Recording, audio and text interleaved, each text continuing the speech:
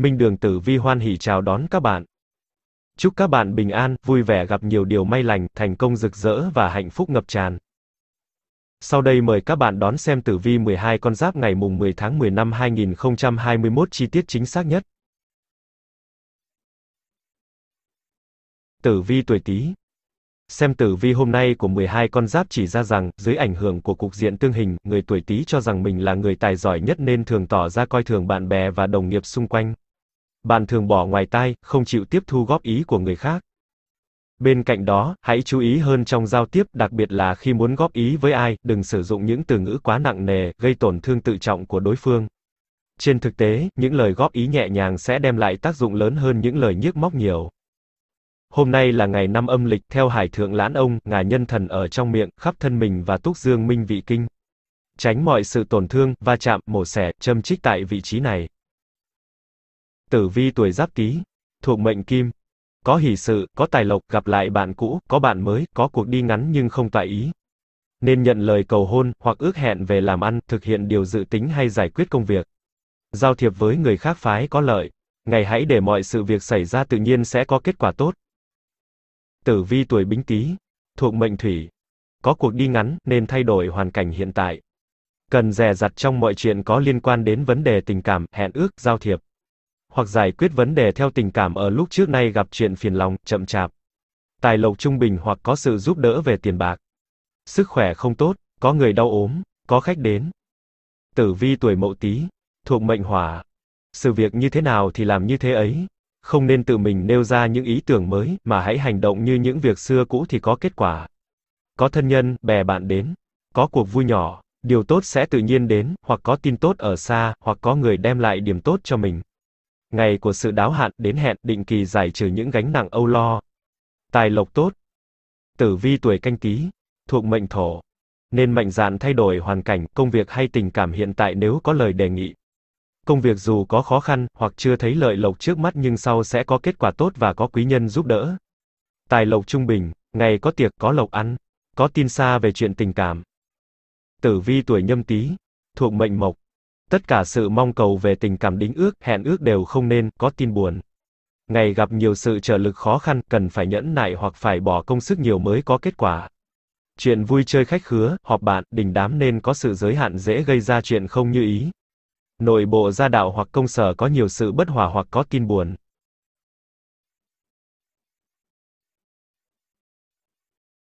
Tử vi tuổi Sửu.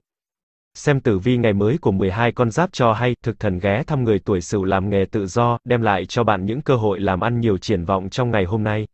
Bản mệnh có thể tìm được những mối khách hàng, đối tác hứa hẹn, thu về lợi ích nhanh chóng. Với bản tính ôn hòa và rộng rãi, bạn dễ dàng nhận được sự yêu mến của mọi người xung quanh, và đó chính là những cơ hội tốt giúp bạn phát triển trong tương lai. Tuy nhiên, đôi khi bạn cần tiết chế sự khéo léo quá mức của mình, đừng biến mình thành người không thực bụng. Mộc khắc thổ, chuyện tình cảm giữa người tuổi này và nửa kia không được như ý muốn. Đôi bên có thể tranh cãi vì một số vấn đề tưởng chừng nhỏ nhặt. Sau mỗi mâu thuẫn, đôi bên cần nhìn nhận lại vấn đề để có thể hiểu và thông cảm cho nhau hơn. Tử vi tuổi Ất Sửu, thuộc mệnh Kim. Có tin buồn đối với người mình thân thiết hoặc có liên quan đến công việc của mình. Có tin tức về công việc gặp trở ngại hoặc có sự thay đổi bất ngờ. Sự mong cầu về tiền bạc kỳ chậm nhưng có kết quả. Hao tài về tiệc vui, đình đám. Tử vi tuổi Đinh Sửu, thuộc mệnh Thủy. Mọi việc sẽ tự nhiên đến không nên tính toán hoặc cưỡng cầu. Có sự trở ngại, chậm trễ cho việc trở ngại, di chuyển. Có tin xa của thân nhân, bè bạn nên để cho người khác đứng thay cho mình trong công việc. Tài lộc kém. Tử vi tuổi kỷ sửu, thuộc mệnh hỏa. Nếu có ý muốn thay đổi về công việc, nơi ăn trốn ở, công sở thì không nên vội vã quyết định. Ngày có tin tức đảo lộn với sự dự tính lúc trước.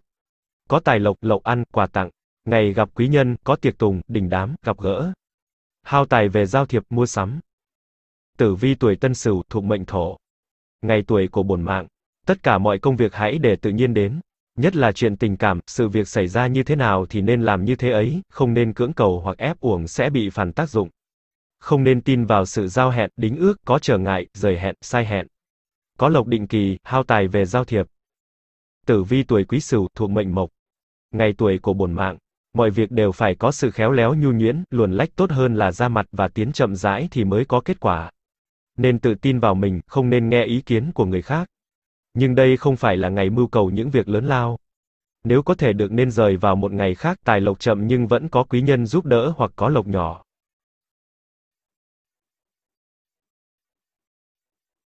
Tử vi tuổi dần Tam hội giúp sức khiến người tuổi dần có đầu óc nhanh nhạy, đặc biệt là trong các công việc khó khăn, đòi hỏi người có đầu óc, bạn luôn tiên phong đưa ra các giải pháp. Quan hệ xã giao của bản mệnh cũng hài hòa, bạn được mọi người yêu mến có cách cư xử chừng mực. Dù nóng giận đến mấy đi nữa, bạn luôn kiềm chế bản thân để không hành xử nông nổi và đắc tội với bất cứ ai. Xem ngày tốt xấu theo trực, hôm nay trực chấp là ngày thích hợp để làm những việc có lợi cho việc lưu giữ lâu dài cái tốt cho mai sau như trồng trọt, cất giữ tiền bạc, hạt giống. Đồng thời nên kiêng những việc như xuất tiền của, rời nhà ở, xuất hành, mở cửa hàng, công xưởng. Tử vi tuổi giáp dần, thuộc mệnh thủy. Chớ để tin tức, dư luận ảnh hưởng đến công việc của mình, nhất là giải quyết dựa trên tình cảm nhiều hơn là lý trí. Ngày gặp tình huống dây dưa khó giải quyết, chưa định được hướng đi. Nếu thấy có lợi về tài lộc thì chỉ là ngắn ngủi không nên tiếp tục, hoặc phải chia phần, hoặc chi vào những công việc đã được tính trước. Không nên vui chơi quá đáng có hại.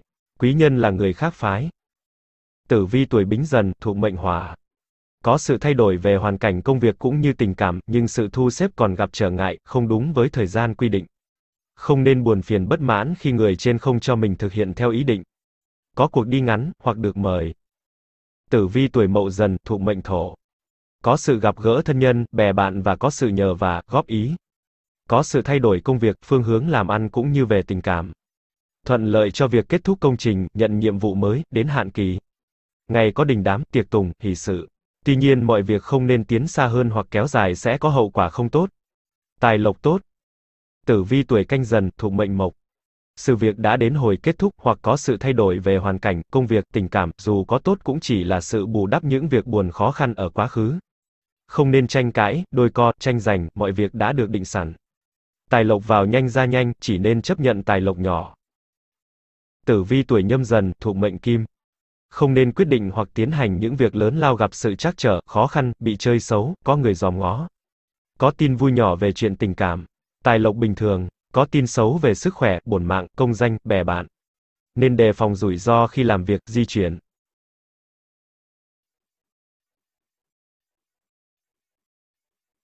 Tử vi tuổi Mão. Trong ngày có thiên ấn nâng đỡ, người tuổi Mão làm trong các ngành nghề nghiên cứu, dịch vụ khẳng định được vị thế của mình. Với vốn tri thức phong phú, bạn sẽ khiến nhiều người khâm phục và kính trọng. Tuy nhiên, một khi đã bắt tay vào làm công việc gì, bạn nên cẩn thận và chăm chỉ hơn, đừng cho rằng mình có tài thì làm thế nào cũng được. Theo tử vi hàng ngày cho thấy, nếu cứ giữ thái độ thờ ơ, lười biếng, bạn vẫn sẽ dễ dàng mắc lỗi như bất cứ ai. Nếu có việc cần phải đi xa trong ngày hôm nay, con giáp này nên xuất phát vào giờ hoàng đạo và lựa chọn những hướng đi tốt để công việc thêm phần thuận lợi. Hôm nay hỷ thần và tài thân xuất hiện ở hướng Tây Nam. Tử vi tuổi Ất Mão, thuộc mệnh Thủy. Mọi việc chắc chờ trước, yên ổn sau. Ngày có nhiều việc phải lo. Có tin buồn, chuyện bất an về sức khỏe, bệnh tật, có chuyện tang thương. Sự mong cầu về tình cảm chỉ đem đến đa sầu, không vui, hoặc có người đi xa. Có tin tức ở xa. Nếu có lộc ăn cũng không được vừa ý. Nội bộ gia đình, công sở không nên tranh cãi. Tài lộc trung bình, ngày có sự bận rộn về bếp núc lùng cùng trong nội bộ. Tử vi tuổi đinh mão, thuộc mệnh hỏa. Ngày có nhiều tin tức, sự việc xảy ra không được thuận lợi khiến cho mình phải lo toan bận rộn dù là chuyện vui cũng như chuyện buồn. Nếu là chuyện vui thì cũng không nên để tình trạng xảy ra quá lố, có hậu quả xấu, hoặc có kẻ đến quấy rối. Nếu là chuyện buồn cũng không nên lo lắng hoặc tranh cãi lôi thôi sẽ không đi đến đâu. Tài lộc không được như ý, vào nhanh ra nhanh, hao tốn vì giao thiệp, tu bổ, sửa chữa. Tử vi tuổi kỷ mão, thuộc mệnh thổ không nên tham lam hoặc làm những việc ngoài khả năng của mình, kết quả sẽ không đi tới đâu. Nhưng sự việc xảy ra dù là chuyện buồn cũng không có ảnh hưởng xấu đến mình. Có sự tốn kém về giao thiệp, có tin buồn, sức khỏe không tốt, tài lộc khó khăn. Tử vi tuổi Tân Mão, thuộc mệnh Mộc. Sự mong cầu về tiền bạc tuy chậm nhưng có kết quả. Có tin buồn đối với người mình thân thiết hoặc có liên quan đến công việc của mình. Có tin tức về công việc gặp trở ngại hoặc có sự thay đổi bất ngờ. Ngày hao tài về đám tiệc tử vi tuổi quý mão thuộc mệnh kim. Việc mong cầu về tình cảm chỉ là ngắn ngủi hoặc không vừa ý, tâm tình bất an, hay lo hoặc sức khỏe không tốt. Có tin xấu về cưỡng ép, pháp luật, xe cộ, hành hung, tranh cãi. Gia đạo bất an, nói chung là ngày chỉ nên ngồi yên. Tử vi tuổi thìn. Cục diện ngủ hành tương hại khiến người tuổi thìn phải đối diện với nhiều chuyện khó giải quyết, trong ngày hôm nay, bạn ít nhận được sự giúp đỡ và ủng hộ của mọi người, thậm chí còn bị phản đối quyết liệt. Có thể bạn sẽ cảm thấy bất mãn và oán trách người khác vì không ủng hộ mình. Song cùng với đó, bạn cũng nên xem lại kế hoạch của mình liệu đã hợp lý hay chưa, vì sao mà mình lại không thể thuyết phục được mọi người. Mộc khắc thổ còn nhận thấy bạn và nửa kia chưa thật sự thấu hiểu nhau. Khi trò chuyện, hai người thường xuyên rơi vào tình trạng bất đồng ý kiến, vô tình nói lời tổn thương nửa kia. Tử vi tuổi giáp thìn, thuộc mệnh hỏa. Tất cả mọi sự đều thay đổi. Việc chờ đợi đã lâu nay đến lúc cần phải giải quyết hoặc được gặp gỡ, công việc đã đến hạn kỳ. Cầu đi xa thì nên tiến hành. Có sự hội ngộ, và có sự chia tay nếu bấy lâu nay đã gặp gỡ. Có tài lộc hoặc có lộc ăn, tin vui, tiệc tùng, nhưng mình cũng phải có hao tốn chút ít. Có tin tức hoặc giấy mời. Tử vi tuổi bính thìn, thuộc mệnh thổ. Tình thế đã thay đổi. Ngày của sự đáo hạn, đến hẹn, định kỳ cho mọi việc. Hoặc công việc dễ bị bỏ dở, phá ngang do có khách hoặc có tin tức mới làm cản trở.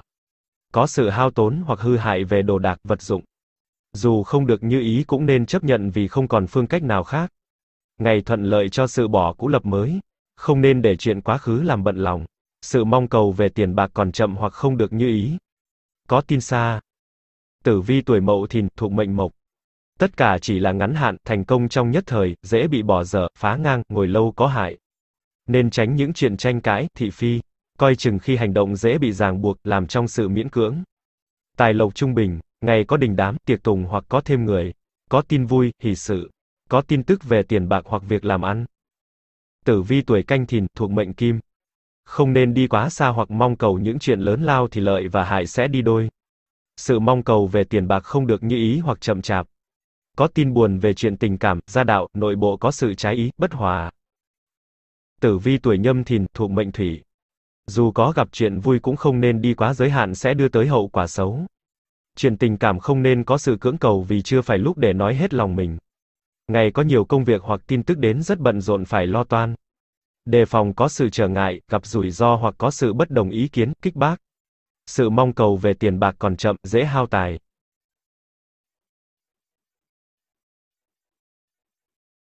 Tử vi tuổi Tỵ. Cục diện mộc sinh hỏa, chuyện tình cảm của người tuổi Tỵ tiến triển rất yên bình và hòa hợp. Bạn luôn có thể chia sẻ mọi suy nghĩ trong lòng mình với người ấy vì tin tưởng đối phương. Và đây chính là điều giúp vợ chồng bạn có thể cùng nhau vượt qua mọi khó khăn, thử thách. Những người còn độc thân cũng dần mở lòng hơn với người khác giới. Bạn không còn bị động nữa mà dần chủ động hơn trong các mối quan hệ. Bạn biết rằng mình không thể cứ mãi chờ đợi ai đó đến với mình. Tuy nhiên, trên phương diện sự nghiệp, kiếp tài lại cho thấy bạn dễ rơi vào cảnh mâu thuẫn, bất đồng ý kiến với đồng nghiệp. Bản mệnh không nên quá cứng đầu cứng cổ, hãy thử nghe ý kiến của người khác đã xem sao. Tử vi tuổi Ất Tỵ, thuộc mệnh Hỏa. Mưu sự các việc thường gặp trở ngại, có cuộc hẹn cần phải đi hoặc có sự thay đổi trong công việc làm ăn do có tin tức hoặc sự việc mới xảy ra. Giữa đường có sự trở ngại chậm trễ chút ít, ngày có sự họp mặt tiệc tùng, gặp bạn. Có tài lộc, quà tặng, lộc ăn. Có nhiều người hoặc sự việc đến liên tục bận rộn cả ngày. Tử vi tuổi đinh tỵ, thuộc mệnh thổ. Không nên di chuyển, đi xa sẽ gặp trở ngại không thành công, hoặc có sự hư hại về máy móc đồ đạc. Có sự hao tốn về mua sắm, sửa chữa đồ đạc, vật dụng. Sức khỏe không tốt, không nên tiến hành, quyết định những việc lớn. Ngày khó có sự kết thúc như ý. Hao tài cho người thân. Đồ đạc có sự thất lạc khó kiếm. Có tiệc tùng, ăn uống. Tử vi tuổi kỷ tỵ thuộc mệnh mộc. Ngày có nhiều tin tức không tốt, xui xẻo đến với mình, dễ bị trách oán, hàm oan, tranh cãi. Dễ bị phạm sai lầm. Sự mong cầu về tiền bạc còn chậm. Sức khỏe không tốt, nên chăm chú về công việc làm của mình, không nên nghĩ chuyện xa xôi, bàn tán chuyện người sẽ gặp điều không hay. Nên ở yên, hao tài về vui chơi giao thiệp, tiệc tùng.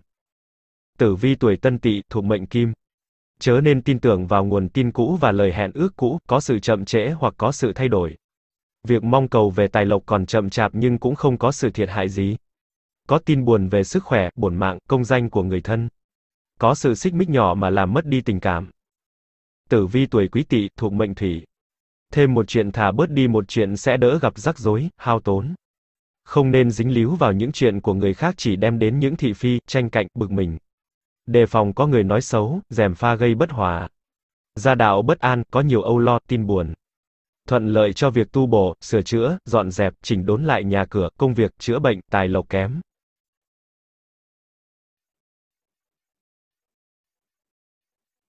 Tử vi tuổi ngọ. Ngũ hành tương phá cảnh báo người tuổi ngọ cần phải hết sức chú ý trong chuyện chi tiêu vào ngày hôm nay. Dù tình hình tài chính có khả quan đi chăng nữa mà chi tiêu phung phí thì bạn cũng nhanh chóng trắng túi thôi. Người làm trong lĩnh vực kinh doanh không nên vội vàng đưa ra quyết định đầu tư trong ngày hôm nay, bởi thời điểm này, bạn gặp được rất ít đối tác đáng tin cậy. Hãy bình tĩnh và chờ đợi một thời cơ khác thích hợp hơn, còn bây giờ hãy giữ kỹ tiền trong túi. Mộc sinh hỏa cho thấy bản mệnh và nửa kia rất yêu thương và quý trọng nhau.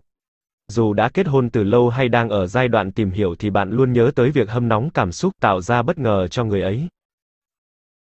Tử vi tuổi giáp ngọ thuộc mệnh kim. Ngày có nhiều sự bận rộn về công việc cũng như về tình cảm. Có sự gặp gỡ đông người hoặc nhận được nhiều tin tức thăm hỏi. Nếu có dự tiệc, đình đám, vui chơi thì cũng không được như ý, không trọn vẹn. Bớt đi một chuyện tốt hơn là thêm một chuyện, chỉ có sự thiệt thòi. Nếu có đi đâu thì không nên ở lâu vì sẽ vướng vào những chuyện không đâu, không có lợi. Tử vi tuổi bính ngọ thuộc mệnh thủy. Việc gì cũng có giới hạn. Không nên háo thắng, toan tính nhiều chuyện sẽ không có kết quả mà lại có sự thiệt hại, bực mình đáng tiếc. Nếu có tiệc tùng hoặc được mời thì không nên ở lâu, chỉ gặp sự không hay và hao tốn. Có sự chậm trễ, rời hẹn, chờ đợi không như dự tính. Có việc phải làm lại hoặc phải quay về chốn cũ. Gặp lại người xưa. Tử vi tuổi mậu ngọ thuộc mệnh hỏa. Có tin về sự sinh nở hoặc gia đạo, công sở có thêm người. Có khách đến muốn nhờ mình giúp đỡ. Có tài lộc hoặc có lộc ăn, quà tặng, lộc bất ngờ. Có tin tức tốt đẹp về công việc cũng như tình cảm ở nơi xa. Có hỷ sự. Tuy nhiên có tin xấu về công danh, bổn mạng, tài lộc của người lớn tuổi hoặc quý nhân. Cẩn trọng việc sử dụng xe cộ, máy móc hoặc công việc hay bị gián đoạn nhiều lần. Tử vi tuổi canh ngọ thuộc mệnh thổ. Mọi việc đều thay đổi, không nên theo đường lối cũ. Chuyện tình cảm không nên kéo dài không tốt. Có tin xa, tài lộc vào nhanh ra nhanh. Có những việc xảy ra ngoài ý muốn cần phải chấp nhận. Có người ở xa đến. Tránh bàn chuyện người hoặc nêu ý kiến không tốt. Tử vi tuổi nhâm ngọ thuộc mệnh mộc. Không nên quyết định sự việc theo tình cảm hoặc e ngại sự mích lòng mà tiến hành sẽ có hậu quả xấu. Đã là lúc phải có sự thay đổi về công việc cũng như về tình cảm. Tài lộc trung bình, đi xa không tốt có sự cản trở hoặc rủi ro giữa đường. Có khách ở xa đến.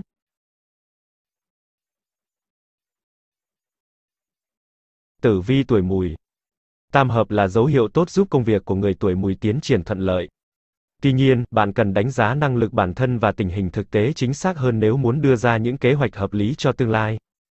Rất may mắn, bạn có cơ hội gặp gỡ quý nhân ngay trong ngày hôm nay. Đó có thể là người chỉ ra con đường tương lai thích hợp cho bạn hoặc giúp bạn giải quyết rắc rối ở hiện tại.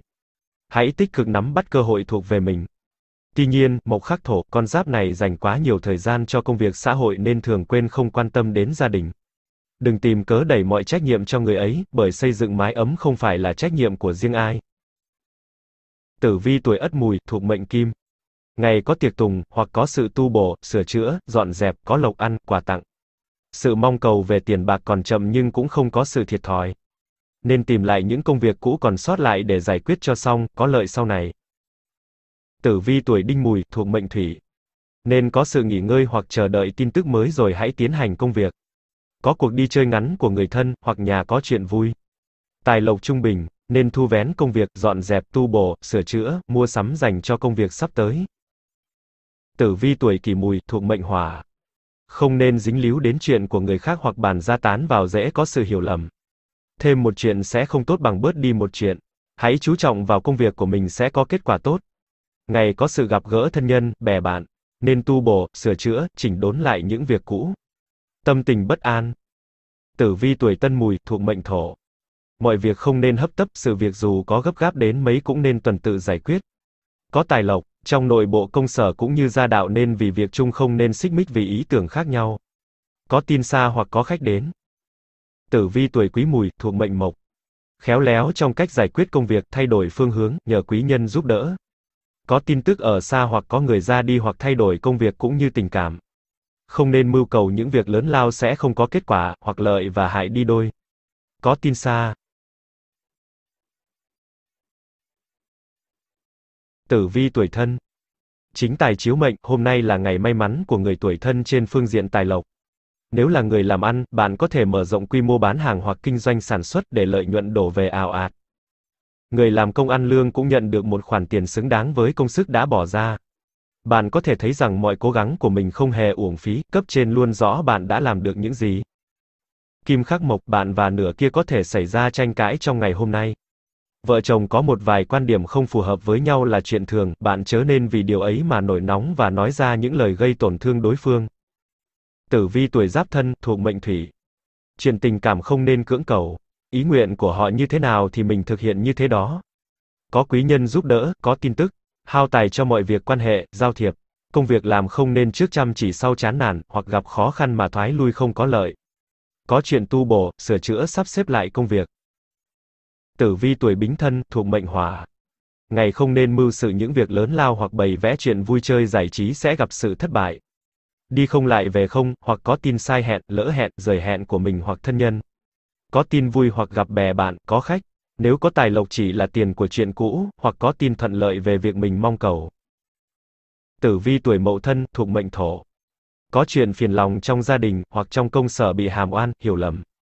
Có tin không tốt cho chuyện đã chủ tính trong quá khứ. Mọi việc không nên nóng nảy hay vội vàng quyết định. Hãy chờ đợi vào một ngày khác và nên chăm chú vào những chuyện hiện tại. Có tin xa của người thân nhưng không hài lòng. Tài lộc trung bình. Tử vi tuổi canh thân, thuộc mệnh mộc. Ngày có nhiều biến chuyển mạnh về công danh, tài lộc, việc làm cũng như về tình cảm. Cần phải có sự khôn khéo thì mới tránh khỏi chuyện phiền phức bị ép buộc. Có sự gặp gỡ, di chuyển. Nên hoàn trả những gì đã nợ ở lúc trước để tránh sự buồn phiền trách oán, hoặc hao tốn về mua sắm, giúp đỡ hoặc phải bị phân chia do điều kiện đã được định trước. Tử vi tuổi nhâm thân, thuộc mệnh kim. Không nên trông chờ vào quý nhân hoặc những người đã giúp đỡ mình từ xưa. Có chuyện phiền lòng hoặc họ không có khả năng. Công việc có thể giải quyết vào một ngày khác, sự mong cầu về tiền bạc cũng vậy. Tình cảm tốt. Tử vi tuổi dậu Người tuổi dậu có phản ứng nhạy bén và giỏi ứng biến với nhiều tình huống rắc rối, tuy nhiên, dưới ảnh hưởng của cục diện tương xung, bạn lại quá kiêu ngạo và nóng nảy, không chịu thỏa hiệp với người có ý kiến trái chiều. Trên phương diện tình cảm, bản mệnh được nhiều đối tượng khác giới quan tâm, để ý. Tuy nhiên, nếu là người có gia đình, bạn cần chủ động giữ khoảng cách với họ, đừng để một phút xa ngã gây tác động xấu đến tình cảm vợ chồng. Trong ngày này, vị trí của thai thần ở hướng chính bắc phía ngoài nhà bếp, bếp lò và cửa phòng thai phụ. Do đó, không nên lui tới tiếp xúc nhiều, dịch chuyển vị trí đồ đạc, tiến hành các công việc sửa chữa đục đẽo ở nơi này. Bởi việc làm đó có thể làm động thai thần, ảnh hưởng đến cả người mẹ và thai nhi. Tử vi tuổi Ất Dậu, thuộc mệnh Thủy. Ngày sung của bổn mạng. Làm gì cũng không nên tính kế lâu dài sẽ có những sự kiện hoặc tin tức đưa đến khiến phải bỏ dở hoặc phải tính toán lại cho phù hợp với thực tế. Có tin về đi xa, có tin buồn về sức khỏe của thân nhân, bè bạn. Tài lộc trung bình, sự mong cầu về tiền bạc còn chậm hoặc chỉ có tin mà thôi. Tử vi tuổi đinh dậu, thuộc mệnh hòa. Ngày sung của bổn mạng. Nếu có tiệc vui, đình đám cũng không nên ở lâu hoặc vui chơi quá đáng đem lại sự tổn thất về tiền bạc cũng như uy tín của bổn mạng. Cẩn trọng trong việc đi lại, sử dụng phương tiện xe cộ, máy móc. Ngày có nhiều sự chuyển biến rất mạnh mang tính đảo ngược hoặc ngoài dự tính của mình. Tử vi tuổi kỷ dậu, thuộc mệnh thổ. Ngày sung của bổn mạng. Không nên hấp tấp vội vàng và tin tưởng vào sự tính toán của mình khi tiến hành vì sẽ có sự đảo lộn bất ngờ. Trong việc đi xa hoặc di chuyển dễ gặp nhiều công việc khó có sự quay trở lại. Có tin buồn, hoặc nghe tin dữ. Có sự gặp gỡ bè bạn, thân nhân hoặc có việc vui chơi, đám tiệc. Có tài lộc, lộc ăn. Tử vi tuổi tân dậu, thuộc mệnh mộc. Nếu có hiện tượng tốt về tiền bạc, tài lộc thì cũng không nên tiến thêm sẽ gặp rủi ro, thiệt hại. Không nên bày vẽ những chuyện vui chơi quá đáng, gặp điều không hay hoặc hao tốn một cách vô ích. Có tin tức chậm hoặc người mình mong cầu lại không đến. Tử vi tuổi quý dậu, thuộc mệnh kim. Nên thay đổi chỗ ở công việc hoặc cố gắng giải quyết công việc cũ trong ngày. Không nên để người dòm ngó thị phi hoặc bị khiển trách. Có quý nhân giúp đỡ về tài lộc nhưng không vừa ý, dễ hao. Đề phòng rủi ro hoặc có tin buồn. Có sự sửa chữa, tu bổ về đồ đạc, nhà cửa, văn phòng.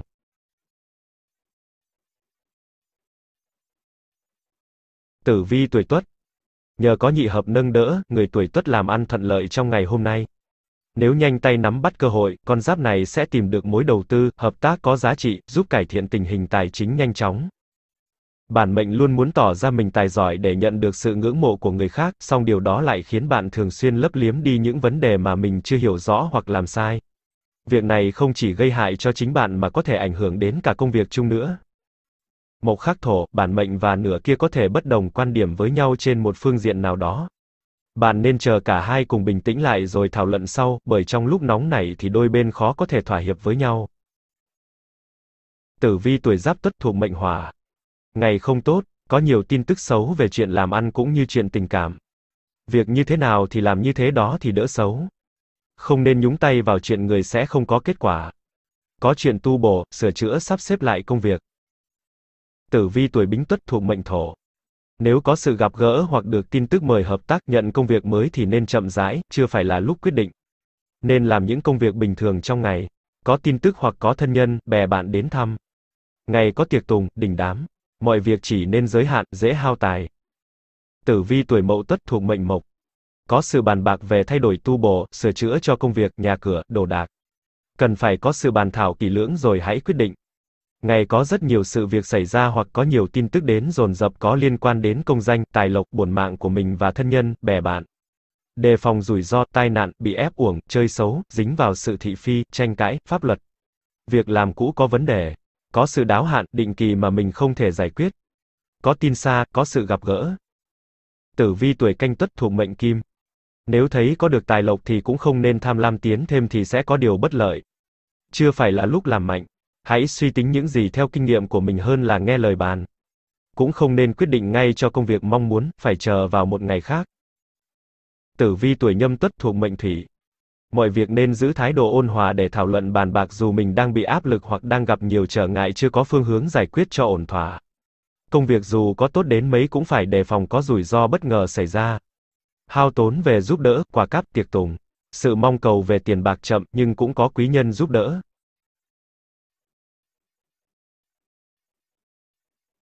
Tử vi tuổi hợi Thủy sinh mộc, người tuổi hợi đã lập gia đình sẽ có một ngày khá yên bình. Nếu có vấn đề gì xảy ra, mọi người cũng sẽ luôn trao đổi với nhau để tìm cách giải quyết hợp lý nhất. Các thành viên trong gia đình bạn luôn tin tưởng lẫn nhau. Những người còn độc thân có thể nhận được tín hiệu tích cực từ những người khác giới. Con người không có ai hoàn hảo, bạn chớ nên kén cá chọn canh, hãy mở lòng hơn để nhận ra được những ưu điểm của người khác.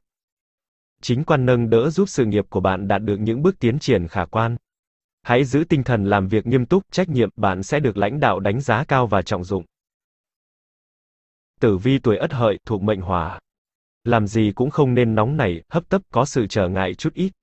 Không nên quyết định theo tình cảm hoặc e ngại sự phật lòng đưa đến hao tốn, bất lợi cho mình. Mọi việc không nên kéo dài, có lộc nhỏ hoặc lộc ăn, tiệc tùng, đình đám. Tử vi tuổi Đinh Hợi, thuộc mệnh Thổ. Không nên mưu cầu chuyện lớn lao, hoàn toàn không có lợi. Gia đạo bất an, hoặc việc ở công sở gặp nhiều chuyện rắc rối về công danh cũng như về tình cảm. Ngày có nhiều lo âu, cực nhọc. Có tin buồn, nên chỉnh đốn xem xét lại công việc hoặc sửa chữa lại những gì đã hư hỏng ở quá khứ. Tài lộc dễ hao. Tử vi tuổi kỷ hợi, thuộc mệnh mộc. Có sự đi xa, di chuyển của thân nhân. Chuyện tình cảm không nên có thái độ dứt khoát vì chưa phải lúc có tiệc hoặc có khách đến. Cuộc hẹn dễ bị giang dở, chờ đợi lâu lắc. Ngày có nhiều tin tức không tốt, hoặc công việc phải làm trong sự nhẫn nại khó khăn mới có thể thành công, có kết quả. Không nên hấp tấp vội vàng thoái lui hoàn toàn không có lợi. Cẩn trọng khi đi đường hoặc di chuyển, sử dụng xe cộ, máy móc có rủi ro. Tử vi tuổi tân hợi, thuộc mệnh kim. Làm gì cũng không nên quá đáng nhất là trong chuyện vui chơi, không có lợi. Có tài lộc nhỏ, hoặc tài lộc chậm chạp nhưng vẫn có kết quả. Có sự rời hẹn, sai hẹn chút ít. Tử vi tuổi quý hợi, thuộc mệnh thủy. Ngày không tốt cho mọi việc. Không nên mưu cầu hoặc giải quyết ngay các công việc quan trọng, mà nên xem xét lại những việc làm của mình ở quá khứ mà có sự khiển trách, phiền lòng. Ngày có nhiều tin xấu, hoặc gặp những chuyện không đâu. Tài lộc kém. Cảm ơn các bạn đã theo dõi video. Xin chào và hẹn gặp lại.